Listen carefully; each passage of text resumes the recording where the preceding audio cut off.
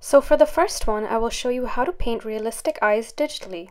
Now this technique can be used when making concept art for video games or animated films, and for digital illustrations with a painterly style to them. First, let's start off by creating a new document. Um, you can go to Photoshop File, New Document, and basically select whatever size you prefer to work in. It could be A4 or US letter. And uh, of course, now let's make it horizontal so we have a wider canvas to work with.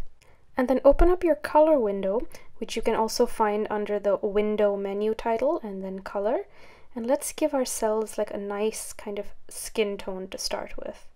I've picked like a warm neutral gray as my base color. Now open up your brush presets window and essentially reset your brushes so that they're the default Photoshop brushes that we're going to use.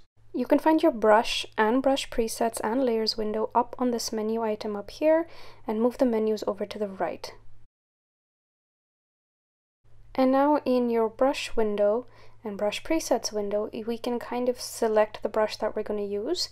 You can use any of Photoshop's default brushes, any of the round ones on the top, for example, and you can even kind of tilt it so you can use it at an angle or whatever you prefer. You can even turn on shape dynamics so that your pen pressure is on, especially if you're using a Wacom Cintiq to paint with. Uh, this way it will kind of give you a thin tip if you press lightly and a very thick tip if you press very hard.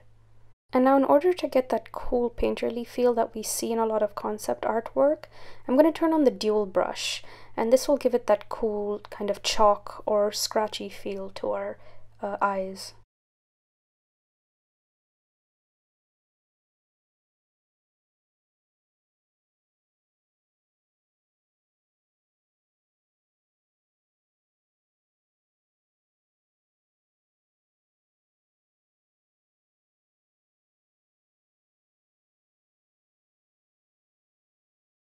Now I personally like to paint with an angled brush.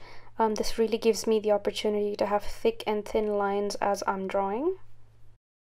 Now to fill up your entire screen with just the canvas, you can press tab on your keyboard.